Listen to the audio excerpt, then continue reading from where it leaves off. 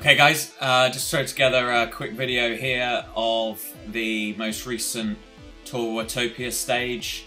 Um, I did the uh, dirt digging, I think it's called the gravel stage anyway, stage four. Um, it's quite an interesting race, five laps around a new route and a new event badge, um, which went pretty well actually. It was quite an interesting race, one of the more interesting races I've done for a while five times up a, up a hill. Um, really broke the field up. It meant it wasn't the bunch race that a lot of the Tour Watopia's been. Um, and yeah, uh, from about halfway in, it became quite an interesting, quite a hard race. So hope you enjoy it. Uh, we get into it fairly quickly. I haven't got a long intro. Uh, and I'll talk to you through a couple of the interesting bits. Cheers. Okay, so the start's been pretty easy. Um, a group of us heading off. It's kind of downhill all the way at the start, so um, a group does go off at the front, but uh, through to the end of the lead in, um, and then continuing downhill before the climb back up. Um, so we'll jump straight forward to the uh, the climb um, because the first uh, few minutes of this race were, were pretty easy.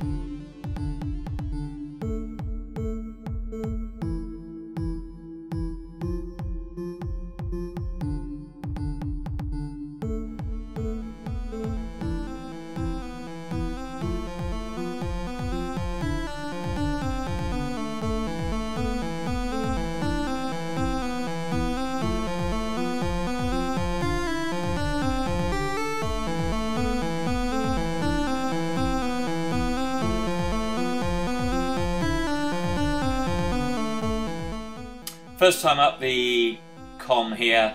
Uh, it's a fairly easy climb. It isn't it isn't steep, uh, but it's enough to separate the group a little bit.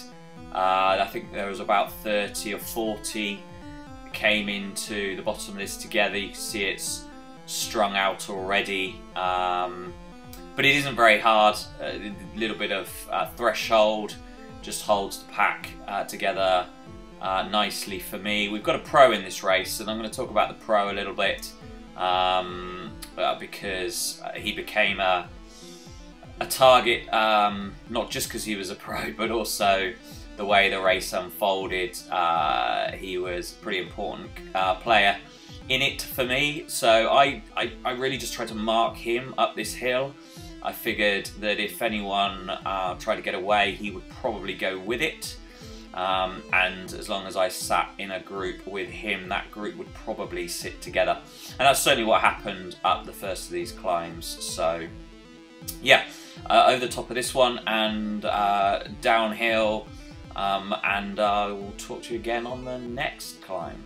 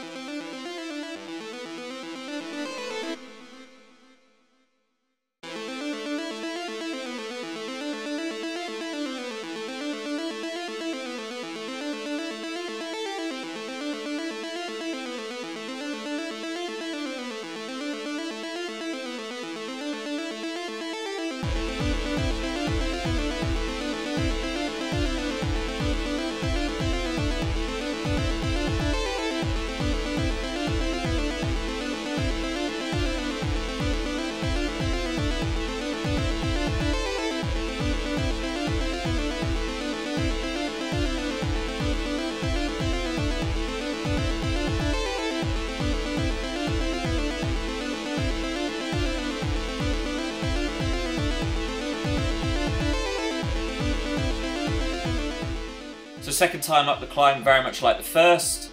Uh, still a group of about 20 people here. Doesn't string out quite so much because obviously the first separation uh, and selection was made last time round. Uh, still sitting really no more than, than tempo and threshold for most of this. Still marking um, this pro. Uh, by the way, this, this chap, uh, Cyril Barthe, I'm sorry, probably butchered your name there. Um, so he rides for B&B uh, uh, Hotels in the Pro Peloton. He's actually ridden the last two Tour de France. Uh, well, the last two Tour de France's.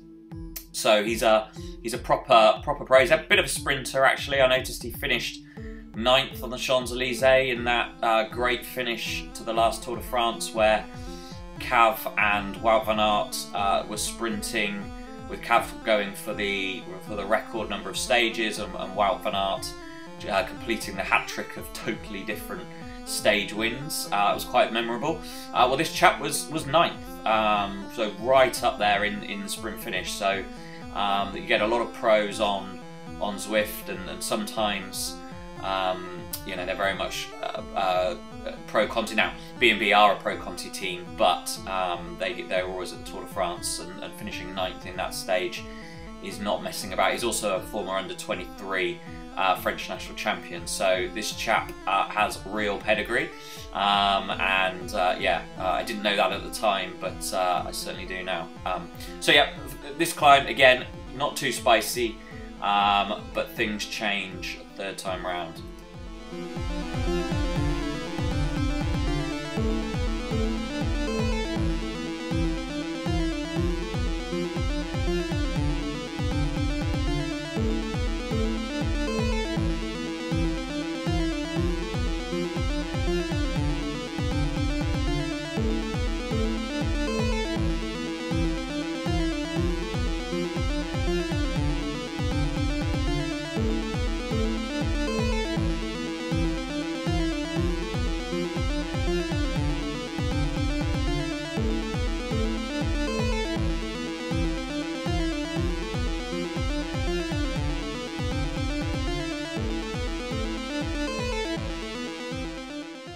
Now, this time uh, things are a bit different. We're back on the climb again, third lap of, of five, um, but someone's gone off the front. So Jay White, uh, not this guy, this is someone being lapped, but the person ahead of me now, four seconds ahead, Jay White, doing six watts per kilo. Um, I'd moved to the front just to get a view of who had gone off the front and what they were doing. When I saw they were doing 6 watts per kilo, I sat back down and, and thought I'd let the group pull them across. Um, however, I see here this this uh, Chinese uh, chap again, a little difficult to see with back markers. You can see now, uh, Zuzi. Um, I'm sorry, I probably butchered that name as well. Um, going across, and I think, well, actually, if I can sit on this person, um, they can drag me across. And I had a little look at the map. If you look now, we've left the, team, the, the group behind. Uh, so the peloton is about three, four back.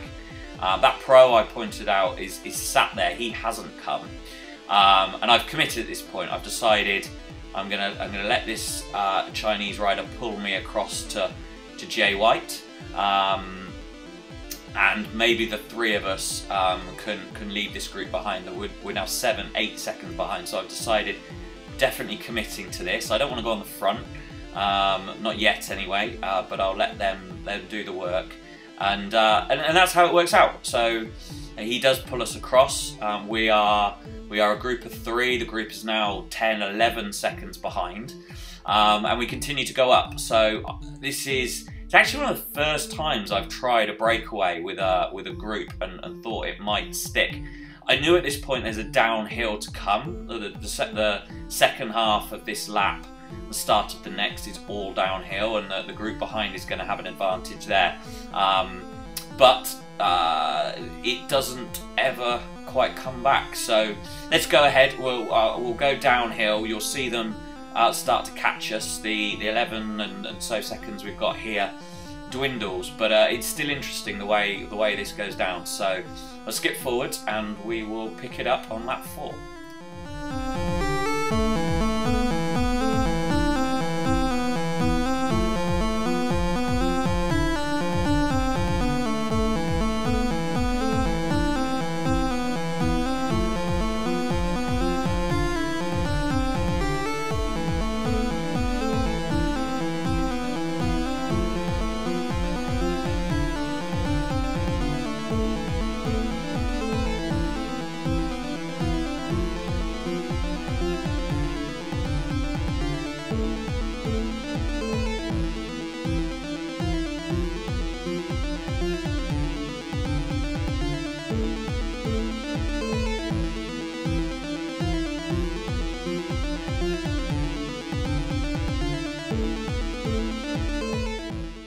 So lap four, back on the Mayan Bridge, which is where the uh, descent turns back into a climb.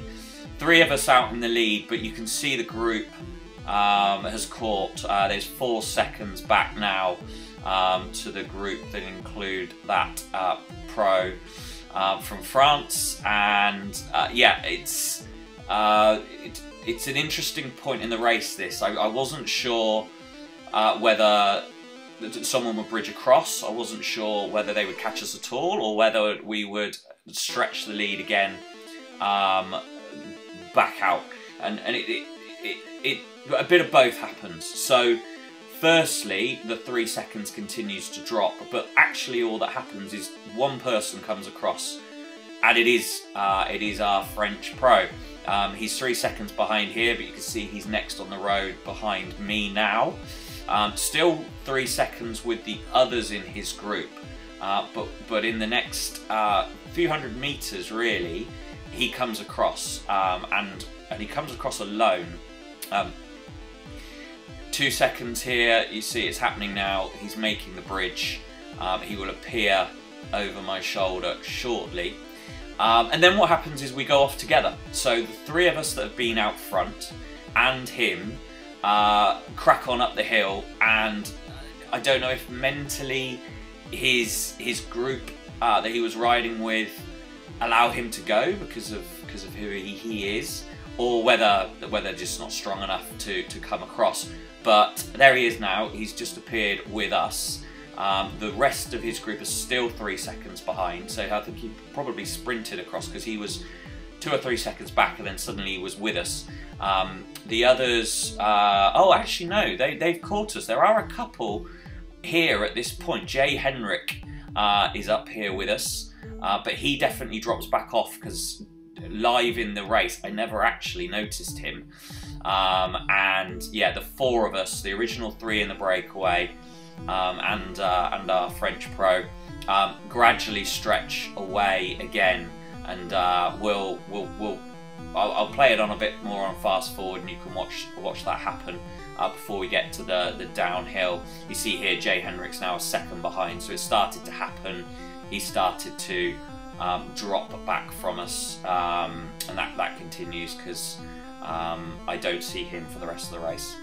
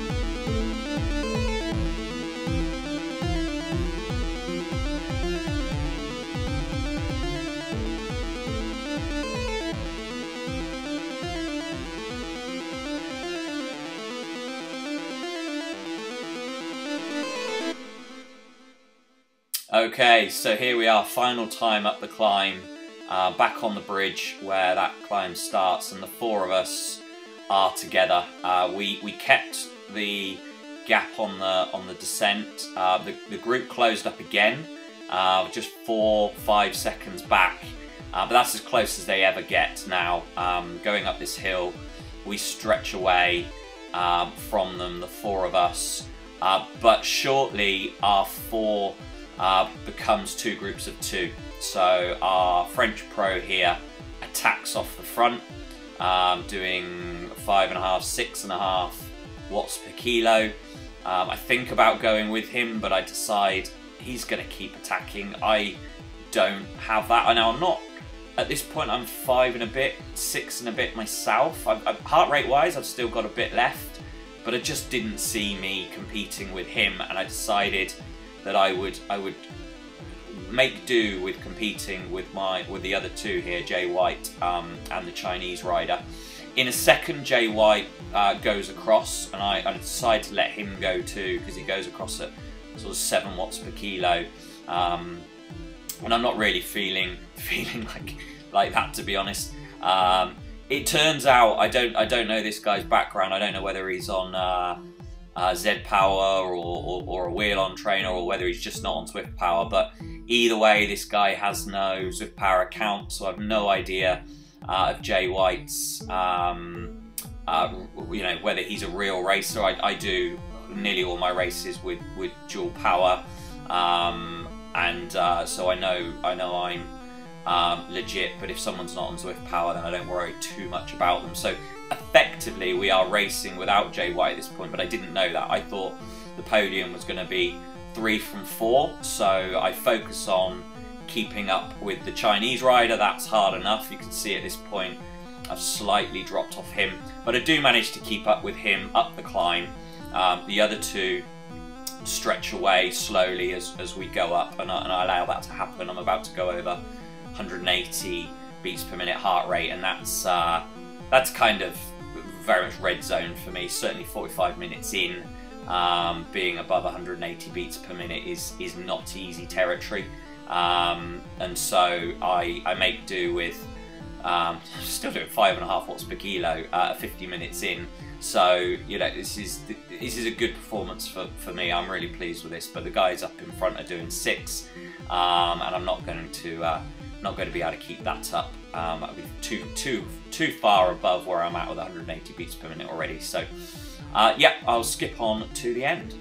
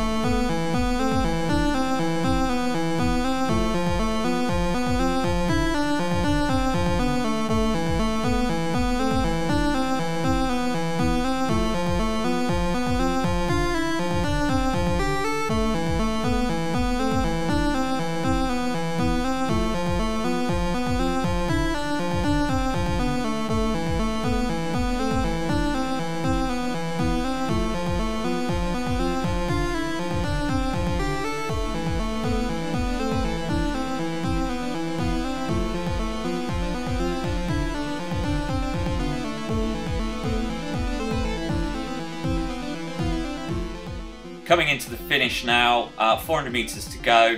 I tried to get the Chinese chap to lead out, which he does. Um, actually let him go a little bit too much here, and I and I panic and have to, to catch him. Uh, but with a couple of hundred meters to go, he starts his sprint, and I'm in his draft. There's no power up, but to be honest, this was quite an easy sprint for me. Um, I managed to sit in his slipstream and then uh, go past comfortably, and uh, and yeah, I finish third, I think. Um, though afterwards, looking at Zwift Power, as I mentioned, Jay White uh, is not there, so second. Um, and the French pro I've talked about before uh, was first. But you know, Tour de France rider, he was first. I'm second on Zwift Power. I'm going to take that all day long. So yeah, really successful race. Um, was quite kind of hard without being totally brutal. Uh, exactly what I want a Tour Watopia to be. I hope you enjoyed it, and I'll see you in the next one. Please uh, like and subscribe to the channel. Um, it really helps me out. I'm trying to grow this channel um, from scratch, and uh, anyone uh, helping out at this stage would be uh, enormously appreciated. So, yeah, please like and subscribe. Thanks. Bye bye.